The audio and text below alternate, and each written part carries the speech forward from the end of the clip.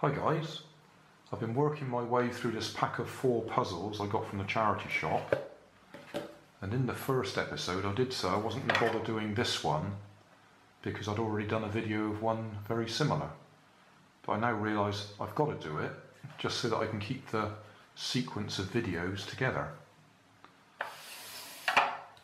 So, see if I can remember.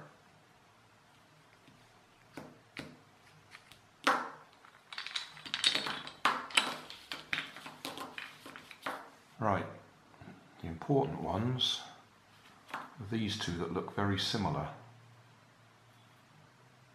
Uh, and it's quite easy to get them together in mirror image format.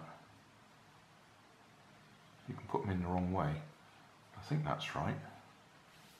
And the next one is this one with a bit sticking up.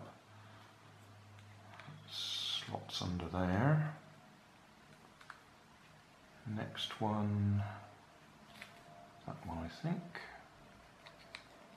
Yep, still got a hole through there. And we need that one. Just going to go over there. No, not that way. That way. Yeah, that's holding them together. And then that one slots through the middle. So there we go. That's the complete set of four. Job done.